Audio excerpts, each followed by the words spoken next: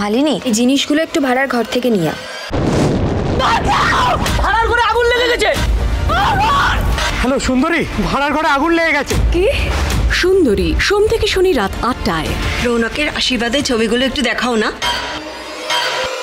Coffee madam. একেই দেখলাম না এক্ষুনি? রৌনকের শালি? কি রে দিদি কি পরিবারের ছেলের বিয়ে দিচ্ছিস? মেঘে ঢাকা তারা সোম থেকে শনি রাত সাড়ে আটটায়। রাত আটটা থেকে রাত নটা শুধুমাত্র সান বাংলায়।